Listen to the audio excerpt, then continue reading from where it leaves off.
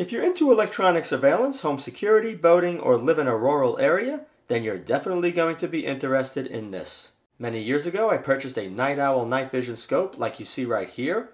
It wasn't too pricey and it worked fairly well. More expensive night vision products use phosphor tubes, green or white, to amplify ambient light at night, such as moonlight, so you're able to see your surroundings clearly. To be able to see in total darkness, the scopes, or in this case binoculars, also have a built-in infrared illuminator. Recently I was looking for night vision binoculars that have very good image quality and long range at a low cost. I found the ones you're looking at right here. After testing them out several times, I must say for $145 including shipping, they're definitely worth the money. Now these night vision binoculars do not use a phosphor tube. What they use is a high definition camera along with a powerful infrared illuminator.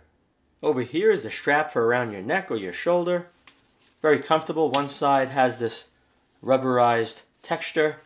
The other side is fabric and it's padded. The binoculars itself is very comfortable to hold. It's got this textured area for your hands. A look at this end right here is the display screen. You would hold this up close to your face. This whole area is rubberized all the way around. And you can see this a little bit better right now with the light on. On this side of the night vision binoculars, you have this rubber boot that you pop out, keeps moisture from entering this compartment where you have a USB connection as well as your SD micro. You can use up to 32 gigabytes, and if you want to access the card without popping it out, you can use the USB cable. On this side of the unit, you have nothing. Looking down at the top of the binoculars, you have six rubberized buttons. Power button, infrared illuminator, right here, this turns it on. You have seven levels of brightness. So that's up and that's down. And over here it says plus with the magnifying glass. So that's zoom in and zoom out. This is a mode button, menu button, and shot button. So you push this button if you'd like to record video, and you push it if you'd like to take a photograph. A look at the bottom, you have four rubberized feet. When you place this down, it will not slide around. You have this brass threaded insert for a tripod over here you have two battery compartment doors. Each one holds four AA alkaline batteries. And this right here is a focus wheel. So as you're looking through the viewer, you focus using this right here. Looking at this end right here, on the left side you have an 850 nanometer 5 watt infrared illuminator and on the right is the camera. Operating temperature range for these binoculars are 14 degrees Fahrenheit or minus 10 C up to 122 degrees Fahrenheit or 50 C. With the batteries installed inside the unit, the weight is right around 800 grams or 1 and 3 quarter pounds. If you're outdoors and it starts to rain, all you have to do is just wipe off the binoculars. They will not be damaged. Okay, to turn it on, push the power button and hold. And you can see we're on the HD screen. That camera means record. Pressing the mode button switches to photograph. You can see 3 megapixel. Push it again. And here you can see the playback menu. I can play back everything stored on this binoculars. Push it again. Back to the camera. Now if I do menu, video resolution, shot button, and then you can choose whichever one you want to use press shot again. And if I want to go to video resolution, the up and down arrows with the magnifying glasses for zoom. And I can push over here. I can choose whatever setting I want for the video. And night vision sensitivity, different levels for that. And there's a burst setting you can use for photographs.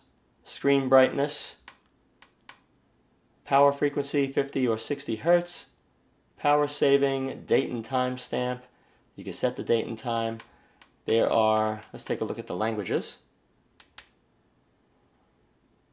And here are all the languages. Looks like Chinese, Japanese, French, Dutch,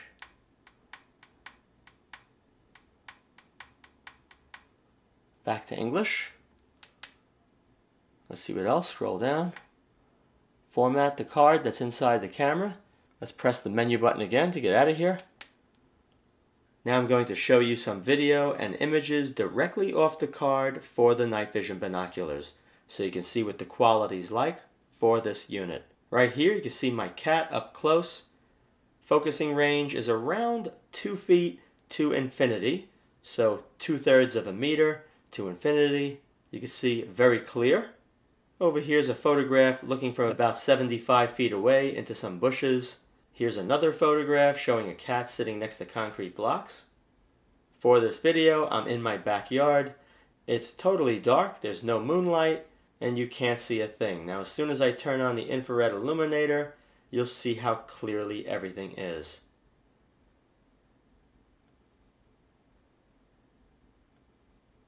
And if I pan around, you can see into the bushes and all the way up the utility pole.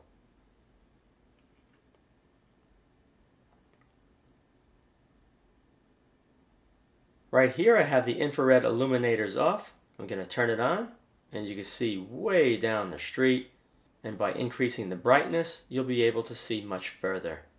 And right here from about 250 feet away you can see the four times digital zoom.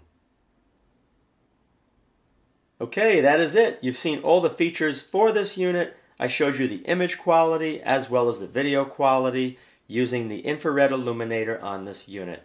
One thing to mention, it does use an 850 nanometer infrared illuminator, not a 940. The difference between the two, the 850, you will notice a red glow, faint red glow on the front of the unit. So if you're facing this towards somebody and they're really looking carefully in your direction, they may be able to pick up that red glow. If it was a 940 nanometer infrared illuminator, you would not see the red glow. The reason why they like to use the 850 because it gives you much better range for the same wattage and it also results in better image quality. I hope you found this video helpful. If you did, be sure to rate thumbs up and share. Thanks for watching.